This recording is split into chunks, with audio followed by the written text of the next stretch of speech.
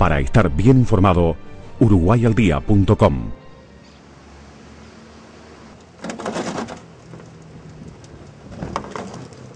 Varios accidentes se registraron las últimas horas en la ruta 15. Esta Mearí empadronada en Rosario volcó y chocó contra un auto. Iban tres personas. El chofer Carlos Alberto Silva Cuello, de 43 años, como consecuencia del vuelco tuvo pérdida de conocimiento con traumatismos. Richard Fabián Cabrera, de 23 años, experimentó erosiones, al igual que Víctor Andrés Fontes Pereira, de 32 años. Continúa internado el chofer de la Miari, Carlos Alberto Silvera Cuello, de 43 años, como consecuencia de las heridas.